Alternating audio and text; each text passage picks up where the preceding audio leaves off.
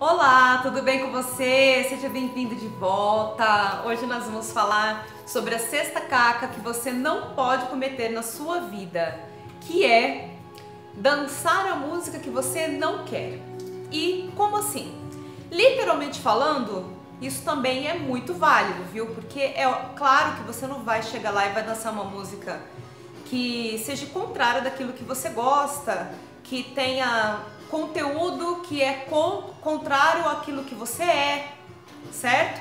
Mas isso aí é outra história. Eu me refiro mesmo às músicas que tocam na vida, que a, que a vida acaba impondo pra gente músicas necessárias para o nosso desenvolvimento e que muitas vezes a gente se embanana todo e não consegue dançar essa música adequadamente do nosso jeito e não num jeito mecânico como todo mundo começa a dançar.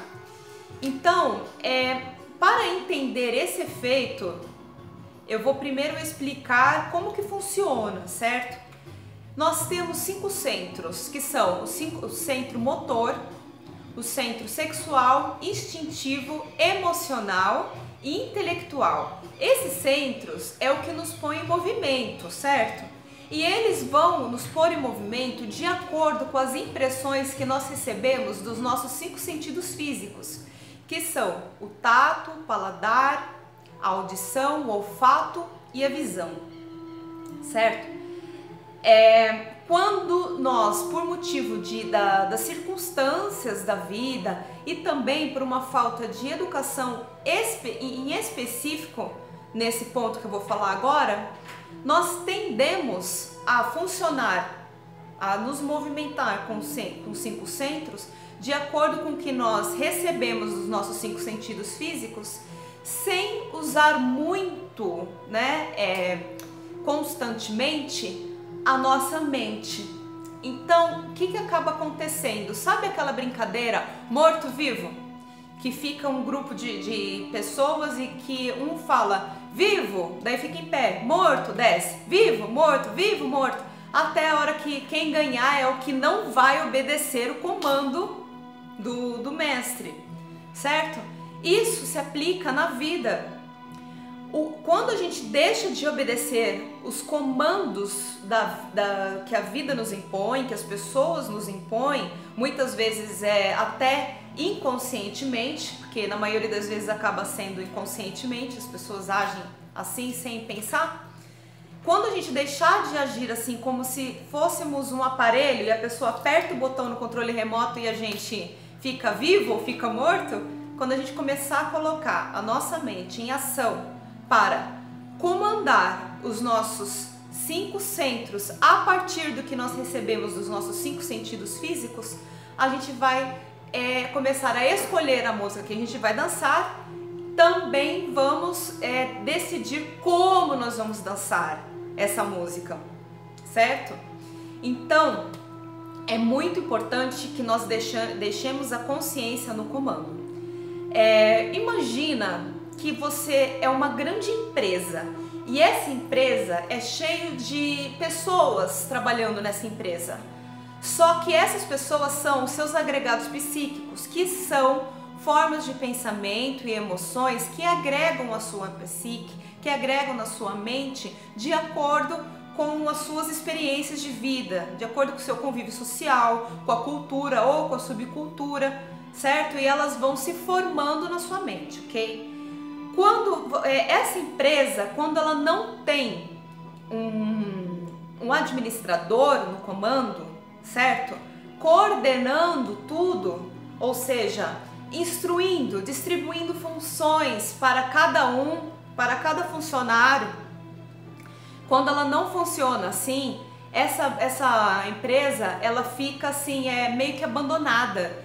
E daí o que acontece? Esses agregados psíquicos, que, que são esses funcionários, começam cada um lutar contra si para tomar o comando dessa empresa, uma vez que ela está sem administrador, uma vez que eles estão sem chefe para instruí-los adequadamente, de acordo com a, as informações que eles recebem e para desempenhar cada um com a sua função, certo?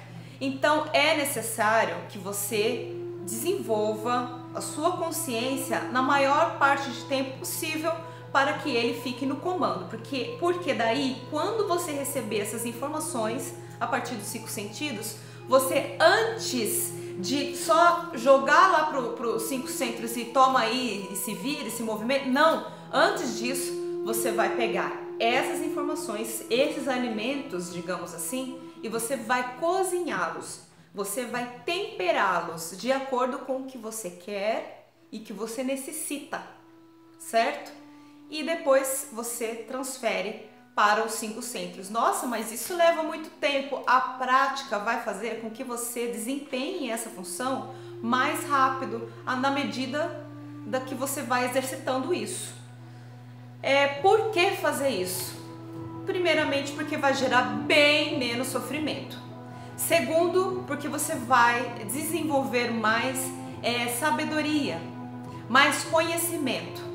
É, e por falar nesse ponto, é importante ressaltar que acúmulo de conhecimento não é sinônimo de sabedoria.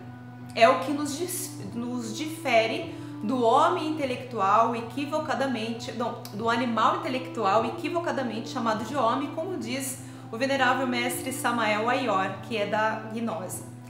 Então, é, o, pra, para nós desenvolvermos sabedoria, nós precisamos pegar esse conhecimento que está presente em todas as informações, em todas as impressões que recebemos com os nossos cinco sentidos físicos e ativar a compreensão tipo 2, que eu já falei em outros vídeos, que é nada mais é do que o amor, certo? E esse amor não necessariamente tipo, ai meu Deus, vem cá, ai meu Deus, vem cá, não. É o amor que serve para te direcionar, certo? É o espiritual que está assim no, no, no, no eixo mesmo. Que esse espiritual é o que vai é, com, com o uso da mente, com o uso do, do masculino, da vontade, que vai distribuir tudo como tem que ser para os seus agregados, para os seus egos trabalharem, para os seus funcionários trabalharem e assim o seu personagem estar integrado com o seu espírito, numa perfeita androgenia entre o masculino e o feminino e todo mundo em comunhão juntos no mesmo princípio, certo? Isso vai fazer com que você, além de ficar bem mais feliz, você, você desenvolva cada vez mais criatividade e vai proporcionar que você encontre o seu destino, aquilo que você veio fazer aqui. O seu destino está na linha, nas linhas da sua mão, certo? Em ambas as mãos. E essa linha, enquanto ela não chegar no seu destino, é porque está faltando coisa para você fazer. Então, você já imaginou você passar essa vida inteira sem concluir aquilo que você tem que concluir, sem fazer o que você precisa fazer, poxa vida, o tempo passa muito rápido. A hora que chegar lá no final, você, meu Deus do céu, daí é a hora que você vai se tocar, que passa um filme na sua vida, certo? Então é isso, gente. Espero que esse vídeo tenha ajudado. É, estou com um projeto muito bacana, vou deixar esse recadinho aqui, tá? Um projeto muito bacana aqui de dança mesmo, ensinando dança de dentro para fora, porém com mais movimentos. Então a dança do ventre vai se, se tornar muito mais compreensível. Você vai entender mais o que você está fazendo e isso, esse equilíbrio, né, entre a razão e o espiritual, vai fazer com que você desenvolva, se, se desenvolva muito mais como bailarina dentro e fora, certo? Em cima de um palco, maravilhosamente, ok? Então, logo logo mais chego com esse projeto. Quem gostou, dá uma curtida, se inscreve no canal, ative o sininho, porque esse projeto já está chegando. Mas antes eu vou terminar essa série de 13 cacas. Por que, que eu estou fazendo essas 13 passos para a verdadeira dança do ventre 13 cacas? Porque isso, esses dois, essas duas séries são a base para uma boa performance no palco da sua vida e fora dele. Porque um tem que corresponder ao outro. O que está dentro é como que está fora e o que está fora é como que está dentro, certo? Super beijo, fica com Deus, paz e luz a todos e bye bye.